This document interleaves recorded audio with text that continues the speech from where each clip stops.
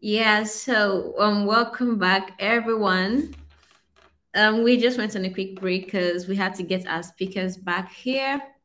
But you'd agree with me that since the beginning of today's section, we've had really exciting topics from introductory down to um, the expert level, and then we're back to um, understanding the basics of um, understanding the basics of um, controllers and introduction to custom resources, which is going to be our next section. So buckle up, everyone, as we get our speaker on here. So the next section is going to be focused on extending Kubernetes and um, introducing custom resources, controllers, and operators. And this is going to be taken by Oladipupo Ajayi, who is a cloud native engineer currently at Container Solution, helping with businesses, helping businesses with cloud native transformation from beginning to the end and everything in between. And uh, it's good to have you here, Dipo.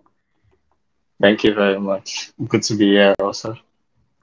Awesome. All right.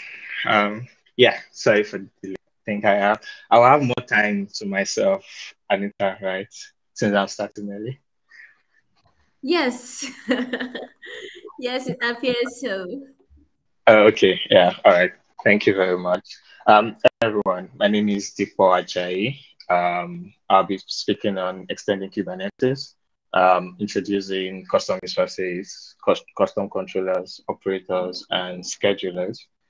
And if there is time, I'll be able to do a simple demo um, while we're at it.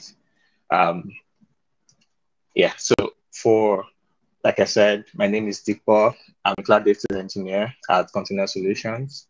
Um, I'm a cloud architect, cloud engineer, um, DevOps engineer. I do everything on AWS and Azure. Um, also a software engineer when I can.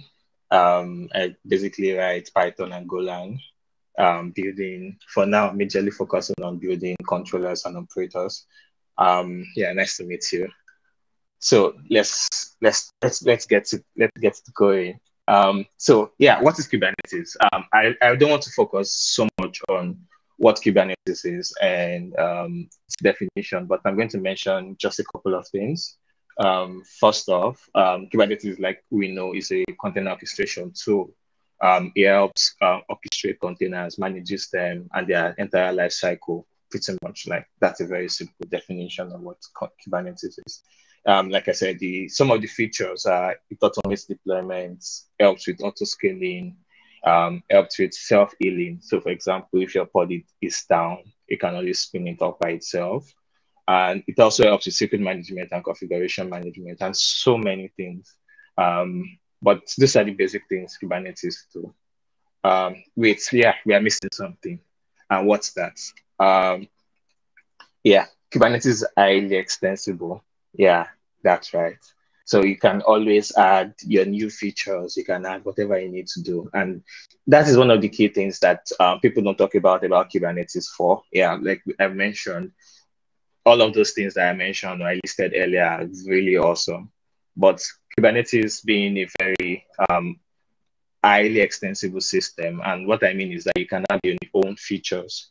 And if you go to Kubernetes GitHub repository, because it's open source, there are no, there are really no uh, um, patches, right? No request to add like basic major features, right? So if I, as a company, I need a particular feature, right, on Kubernetes and it's not available in the default installation, I can always add it myself because of this extensibility. And um, what actually makes this happen, uh, what makes this extensibility happen is because the all of Kubernetes is built on APIs. So everything you're seeing from your port to your services and everything are APIs. So everything is communicating with API. You're communicating with Kubernetes through the API. You're doing Kubernetes communicating with itself through the Kubernetes API. And that's one of the real beauties of Kubernetes that is not being spoken so much about. So um, yeah, extending Kubernetes. What does what do I mean when I say extending Kubernetes? Um, majorly what it means is that you're adding a new functionality, like I mentioned earlier. Um, that isn't part of your default Kubernetes installation. So if I have, if I decide to install maybe Kubernetes 1.22, um, for example, 1.21, um, there's a set of features that comes with it.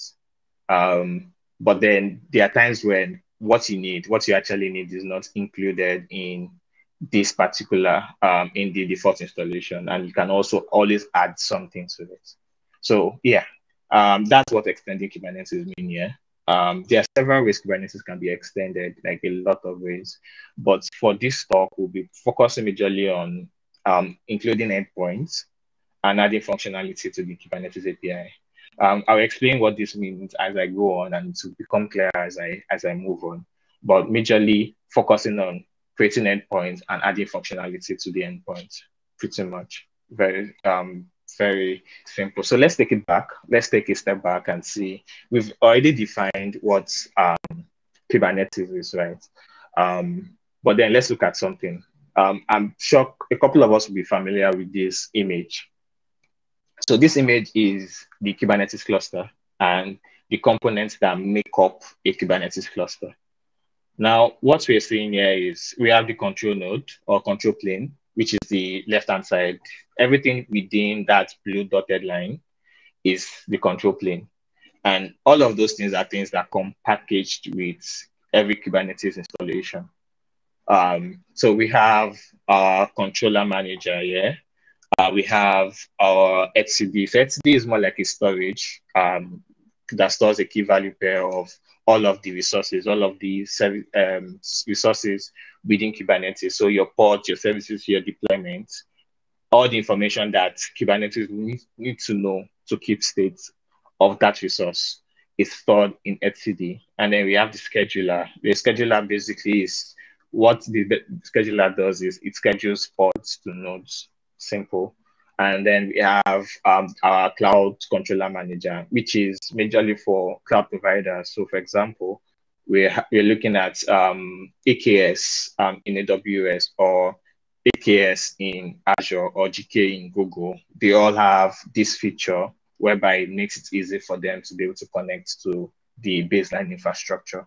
So it's not it's not it's not a it's not part it's not uh, a major part of the Kubernetes cluster, but majorly for cloud providers, people that need it, like I mentioned earlier. And then we have our worker nodes here.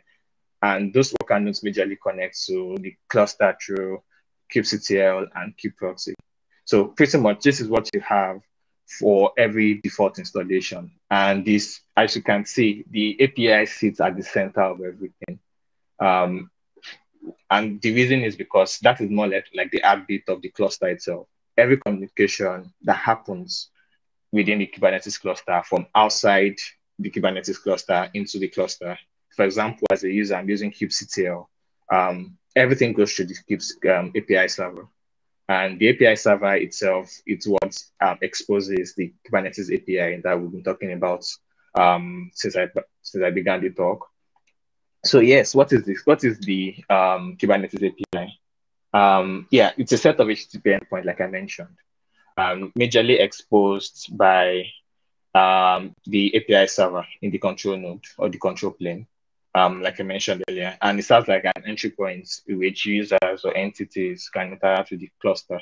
So users, by like um, the DevOps engineer, a cloud engineer, or a software engineer, or entities like services within the cluster, or maybe a, a EC2 instance, for example, just an example that needs to communicate with a cluster. Um, all of this thing happens through the API server. And this API server, API actually coordinates how all the resources or objects are accessed within the cluster. Um, now, as you can see in the diagram below, we can see this is very similar to the image that we had initially, but then there's there's um, a an attachment to the right hand side. And that attachment is more or less like showing how the HTTP endpoints actually looks like.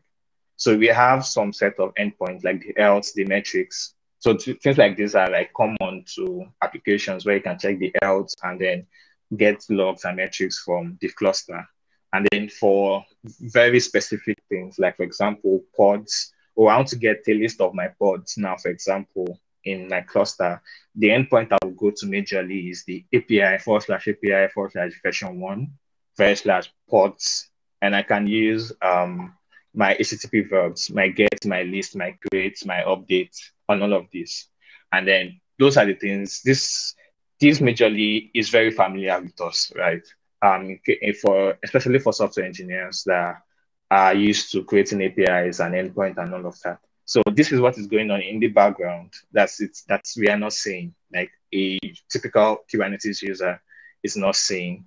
Um, so yeah, here we have it. So this is an example of the Kubernetes API. Now down to what we actually want to talk about today. Um, talk about resources. Uh, very, very, very, very, um, like we said, there's this saying, or is actually true, that the pod is like this, the it's the simplest unit, right, within a cluster, within a Kubernetes cluster, right? But that pod itself is actually a resource. And like I mentioned, all resources in Kubernetes are endpoints. So when you, when you think about your node, node resource, you think about your pod resource, you think about your service resource, you think about your namespace, you think about your volume, and so many other things, your job, your cron jobs, anything you can think of, they're all endpoints, like I've mentioned. I try to I, I try to build them here. Um, but now that's what is there. Now looking at the right hand side of of the slide right now, we would see there is a point where we have a Kubernetes object and something that isn't a Kubernetes object. Like I mentioned, everything is a is a resource, it's a Kubernetes resource, um, but not everything is that a Kubernetes object. Um, and the difference majorly is objects are usually like persistent entities. So for example, I, I create a resource type. I have a resource type, which is namespace um, pods, right? And then I create a, a resource instance with my YAML file, I do kubectl apply, and I create a pod, right? That creating a pod is a resource instance. But what comes out of it, right? That pod instance that has this entire metadata and the ID and everything being persisted in etcd is the Kubernetes object itself. So in comparison to when you do like a kubectl API resources command, for example, um, this what this does is it lists a set of resources for us, right? It's a resource instance, but not an object. And the reason it's not an object is because it's not being persisted in the uh, etcd in the cluster. So it's just doing something, but it's not actually an entity that's doing something that needs to be monitored or controlled, um, or we will go back to when we need them. So that's the major difference between a Kubernetes object and instances, resource instances that are not objects. Um, now that we have an idea what a Kubernetes resource is, um, what do we mean when we say what is a custom resource? Because that is what this talk is about. How do we extend um, Kubernetes to be able to create custom resources? So what are custom resources? Custom resources majorly are endpoints, like we've mentioned in the Kubernetes API that allow the creation of custom objects, like I explained initially, of a particular resource type. So in the previous slide, you saw how we created a Kubernetes object, a Kubernetes pod object, right, with a resource type of pod. So we can do the same thing for our custom resources and say, okay, I want to create a custom resource called foo, foobar, something, and I want it to be able to create a Kubernetes object of of my of type uh, foobar, for example. And how do we do that? How do we say, okay, how do I add this foobar resource, right, to my endpoints, my Kubernetes endpoints? And the way we do that is we do, we use a Kubernetes, a custom resource definition. So um, a custom resource definition majorly is like a, like, like a template. Um, and what that template does is it's used to add endpoints to our resource to our Kubernetes API. And that's that is what it does. It had endpoint and it has fields and metadata that can be filled into that um, resource endpoint. So for example, the image that we have here, we have a YAML file, which is the custom resource definition. It creates a custom resource as an endpoint. That's what we have in the middle. And anytime we call that endpoint, we can use that endpoint, which is a resource now, custom resource now. We can use to create a lot of objects, a collection of Kubernetes API objects of that custom resource type. So uh, I'll take it again. Uh, we will, I would create a custom resource of a particular um, resource type. Let's say foobar, like I said earlier. through the custom resource definition. Now, if I want to create a, an object of that resource type, I would have to query the custom resource endpoint to be able to have to be able to create that object and to be able to query it, list it, get it, delete it, just the same way an API would work normally. Um, yeah, so for for this for this this is what we have for custom resources, but then they really don't do anything. Custom resources are just um, they are just labels or let me say like string for example. You know when you do maybe a in your in programming when you do a equals to um, quotation mark abcd that doesn't do anything. It's just a placeholder right? So custom resources are like placeholder they don't do anything. Um, they don't have any power of their own. They don't they cannot think by themselves. More like a caricature in uh, if i can use that term. Um, but what actually makes them do something. Like for example, our pod now, we know that our pod um, object takes an image, right? Runs that image and then exposes an a port and then an endpoint that we can access the application that is running within that pod, right? What makes that possible? Um, and what makes that possible are controllers. Like I mentioned before, when we are looking at the things that were in the control plane, uh, right, we talked about the controller manager. So the controller manager contains all the logic that all the resources are using, all the default resources. So by default resources, I mean pods, namespace, nodes, daemon sets, deployment, stateful sets. How are they reconciled? What did they do? So controllers actually do that for us. So controllers are like uh, our control loops that track a Kubernetes API type to make sure that that current state matches the desired state. So one thing I need to mention before we continue is that um, Kubernetes was built on an event-driven architecture. And what, what that means is that um, a controller or Kubernetes watches for changes to a particular event and then triggers the necessary um, the necessary things that needs to do based on that event. So for example, if I do a create event now, if I do kubectl create or kubectl apply, and then I pass in a file, a pod file. I'm passing, I'm sending in an event to the Kubernetes cluster. It picks that up, looks at my file, gets the um, gets the resource kind, and then passes it to the right controller. And the controller knows what to do by creating whatever it needs to do. So for our, our pod example, it looks, it says, oh, this is a pod kind or pod resource type. And what it does is it takes this the schema, the name, the namespace, the um, container image, the container name, the container port, for example, and does something with it. And what we have is we have a container, a Docker container, right, running, and then we can access it with the necessary metadata that was passed in into our pod YAML file. So that's how it works. So for controllers, is what a controller is that black box you are not seeing, right? Um, when we when we do kubectl apply or kubectl get or kubectl describe, right?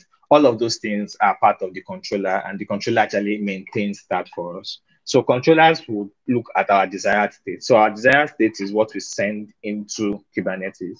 And the actual state is what is actually happening within Kubernetes. So for example, if I send in a deployment now, a deployment type, and I specify I want to have three or three instances of a particular image running, right? So that's my desired state, right?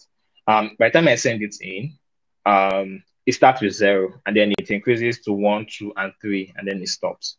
If any of the ports is deleted or maybe it's down for whatever reason, the actual state and desired state are no longer in sync. So the controller, what the controller does is it makes sure that um, it returns the um, actual state of the of that particular resource into the desired state. So it continues doing that in a, in a loop but then instead of doing a loop and trying to make sure um, make sure that everything works, it can overwhelm the system. So that's why they opted in for an event-driven architecture. Remember, when there is a change, there's an event is sent, and then the controller can take care of whatever is happening um, there. So yeah, we've talked about controllers. Now, custom controllers, um, which is what we want to talk about, right? Um, custom custom resources, like I mentioned, are just endpoints created by custom resource definition. So they're just like an API that can query object, uh, within them. They don't do anything more than that. Um, custom controllers like are the log logic that bring those custom resources or the object they create to life. Like they become responsive. That's what I mean. And um, like I mentioned, Kubernetes uses a declarative programming model, which means that you only dictate the overall state of the object you want to achieve. That is all you do. You don't care about what is happening in the background. Or you know that I have declared this and I expect Kubernetes to give me what I've declared, right? And because Kubernetes um, custom controllers extend the functionality of the Kubernetes API on built-in resources, right? So um, I have a pod now, for example, but I want to do more on it, or I want to change the, the way pods behave. The way I do that is I create a controller that handles that logic for me, right? And that's what controllers do. Um, they usually, they usually they are used typically when a use case is not covered by the built-in controller manager for a built-in resource type. So very important for us to make to note there is that they they are used for use cases that are not covered by the built-in controller manager in our control plane for built-in resource type. By built-in resource types, the things I mean are things like pods, um, namespaces, uh, deployments, and so on. So like a typical example of when we want to use a custom controller is let's say that we have an application that uses a config map, right? To maybe send some environment variables into the containers that we are creating. Um, so, uh, but then there's always the possibility that those values can change. A typical manual process will have been, if I need to make an update to my config map, right? I make the update to the config map with the key and value.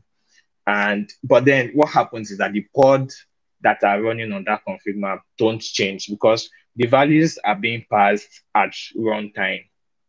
Now, for me to be able to make sure that the pods have this, the necessary things, I would have to go and stop the pod and then restart it. Right. So that's the manual process that we need to do. Now we can create a controller that watches for the config map um, resource type and watches for changes to the config map values.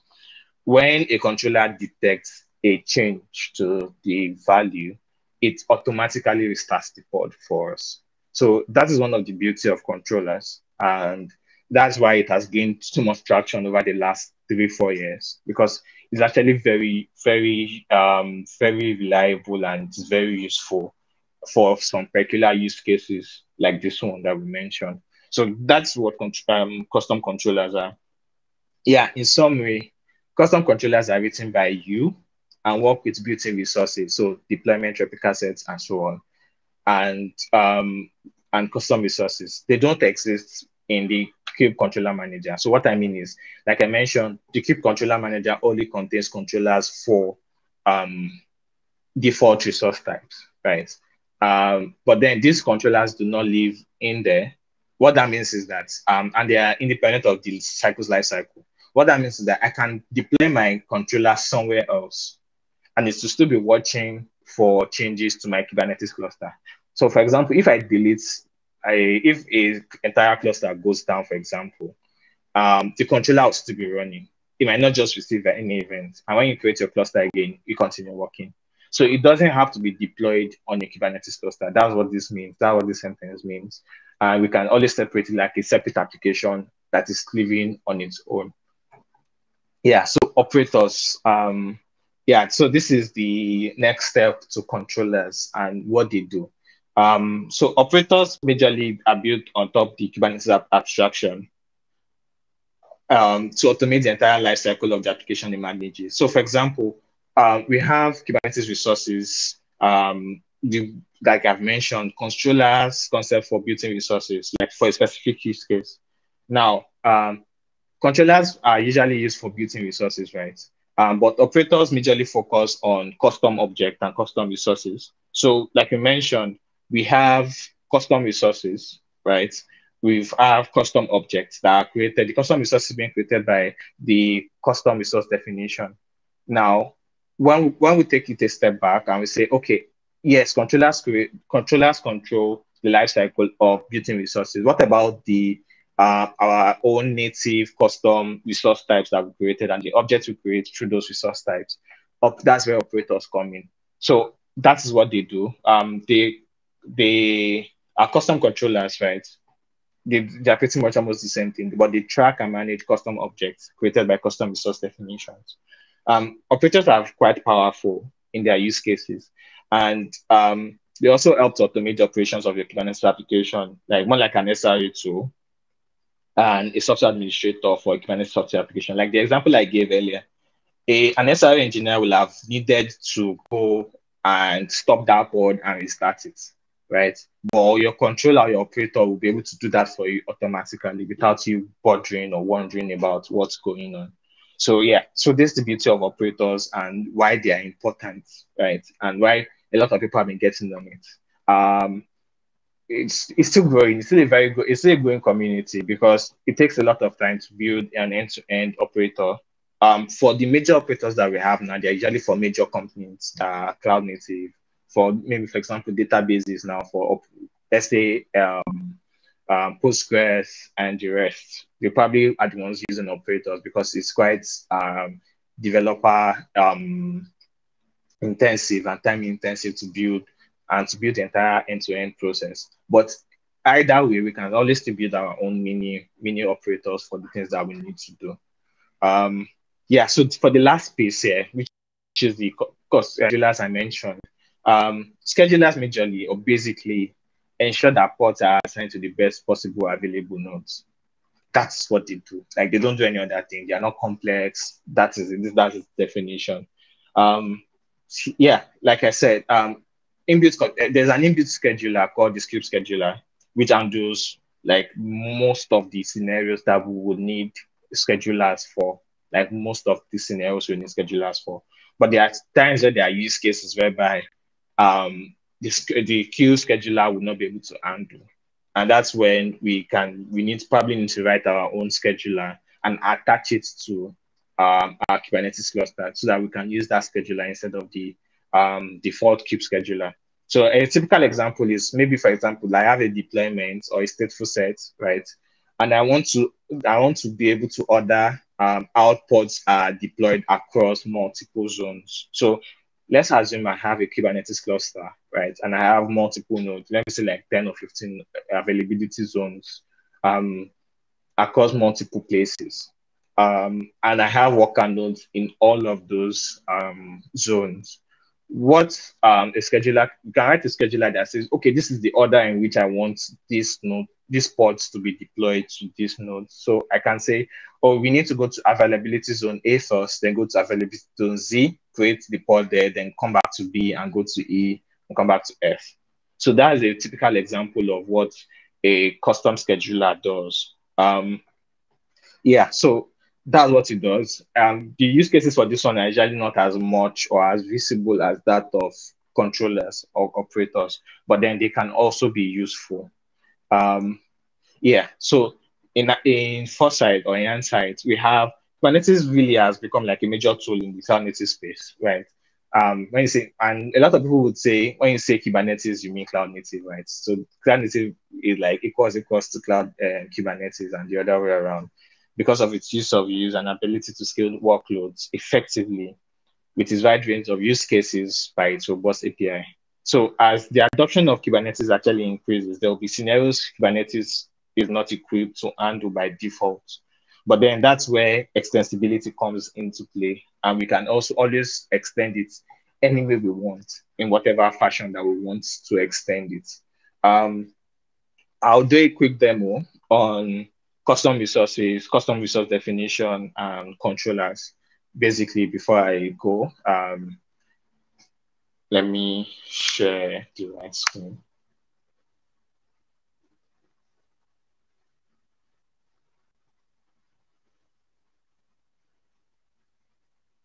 All right. So um, what I'm going to do here, uh, I hope you can, I hope it's clear enough. Um, what I'm going to do here is I'm going to show us how custom resources are created through custom resource definitions. And we'll see how a controller is being used. So this um, controller here is pretty much basic and simple. And what it does is it creates an Nginx image without us specifying the Nginx image. And so it's just very basic to just show us how controllers actually work. Um, now, for like I mentioned, there are a lot of custom resource types that we have um, in, a, in a default Kubernetes cluster. So um, uh, let me show you a couple.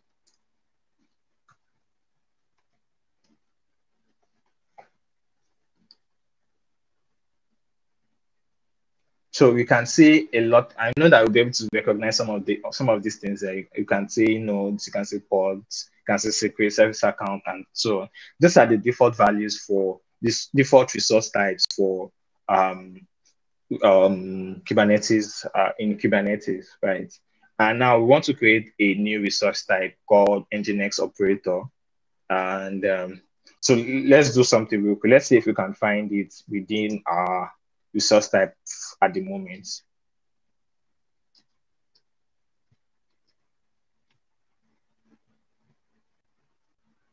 So you can see that there's nothing like that because it didn't return anything. Um, one thing we can do, like I mentioned, for a custom resource, uh, custom resource. So what we need now is we need the custom resource definitions, right? And that custom resource definition, let me look for it. Um, Yes. So this is a typical example of what we would have in a custom resource definition. So you can see it's a, and again, custom resource definition is actually a custom resource type also, which is, which is, which is, which, but that's what makes it really beautiful. So you're using an API endpoint to create other API endpoints, right? So you can see it has a kind of custom resource definition. It has the name. So this is going to be the, the name of our um, custom resource type. And um, you can see a couple of things that have been mentioned. The group it, it belongs to the plural form, which is Nginx operator, singular form Nginx operator, and we are specifying that is a namespace uh, resource type. There are two types of resource types. There's names, uh, namespace and cluster wide. So cluster wide are operators that you don't need to specify a, your namespace to be able to access them. Um, but uh, but for namespace operator, you need to uh, specify the namespace it, it's in, or it's being the default um, namespace or the whatever default namespace we specify on our Kubernetes cluster, and it shows the version and so many other things. So there's a lot of things going on here. So uh, let me just mention one thing here.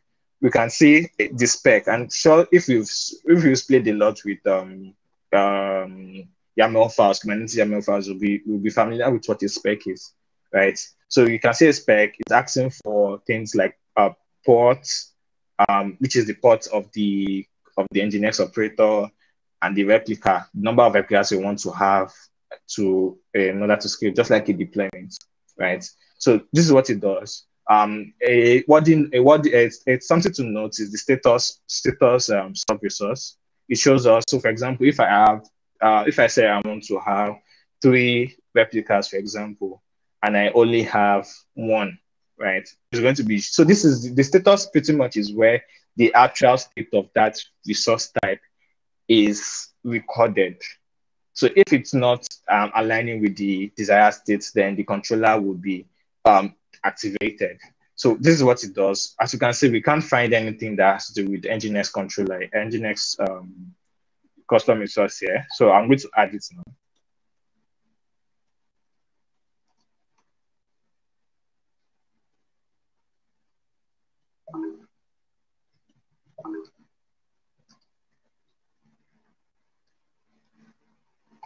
So I've created, I've added my custom resource definition.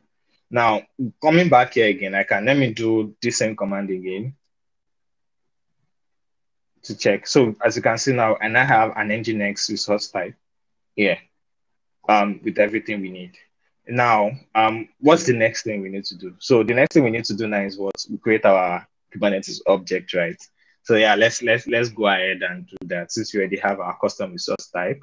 Um, coming. So for our Nginx, no, not this one. Uh, yeah, samples. So as you can see, we have a kind of Nginx operator here with the name this. I'm saying let's have two replicas and have a port of port 80. Yeah, all right. So let's do that.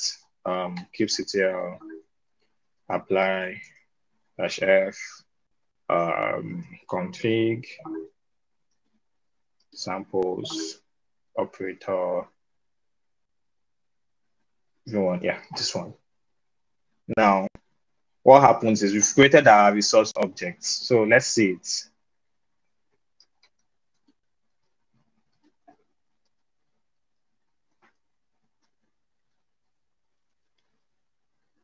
Yeah, yes, we have our object here. And you can see it was created 15 seconds ago. But then um, this our object is supposed to do what? Uh, this our object is supposed to uh, create two pods, just like deployment work. So let's see if it creates a pod for us or not. Um,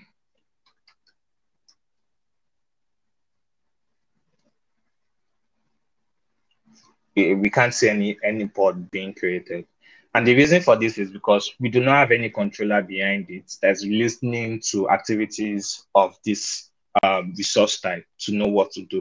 So, like I said, it's just like a placeholder. Nothing happens. Like I'm not seeing anything. Nothing is going on. So, if I do, for example, kubectl um, describe um, nginx operator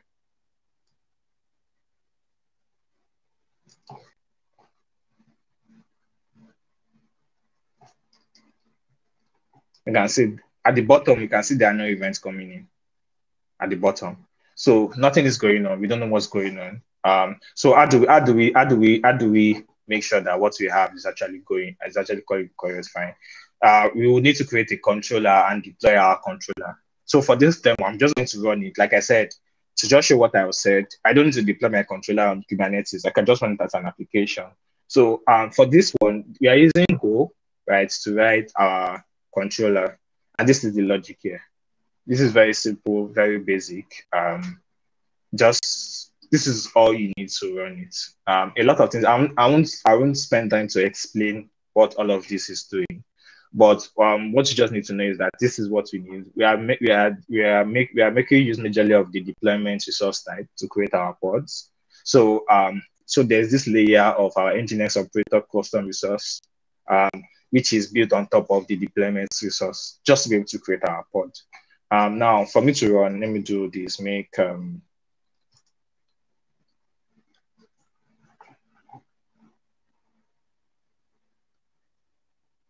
I'm waiting for it to start running. So it's running now.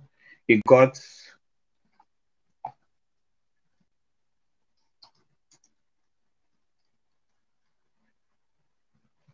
as you can see, you know, initially when we did kubectl get pod, nothing was running. Now we can see our nginx operator pod actually running now. Um, let's let's test one more thing to show that it's actually working the way it's supposed to. Let's delete one of these pods. So if I delete one of them, kubectl delete pod. Um, let's just copy this and paste.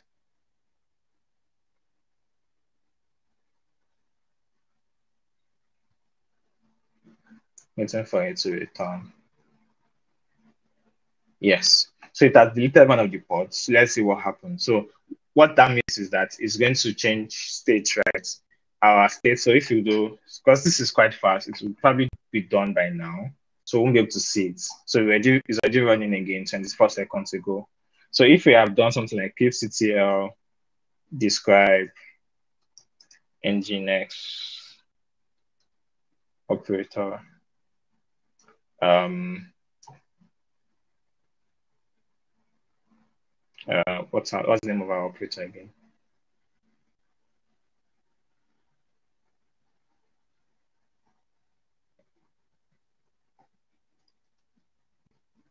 So at right now, okay, it's not returning any events for now. But then what, what we've done so far is that we can see that when we created our custom resource, right, it created it's it did our custom resource and we are able to create our objects. But then until we ran the controller, none of the things, none of the things, the messages we sent in was actually implemented. And until we did it. So this is more like a typical example of a use case. Might not be a very good example, but then it's a, like a hello world example of how we can use controllers in our um, in our daily activities or in our applications. So yeah, um, back to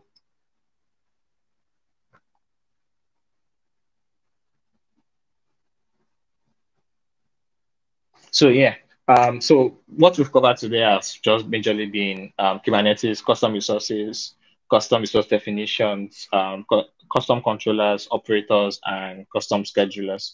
Um, yeah, so that's all from me. Thank you very much um, for having me. Oh, thank you so much, Dipo Ajayi, for that excellent section. And that was a really informative one. If you were able to follow up on the demo, you must have caught up on that as well. Thank you so much for yeah. that section.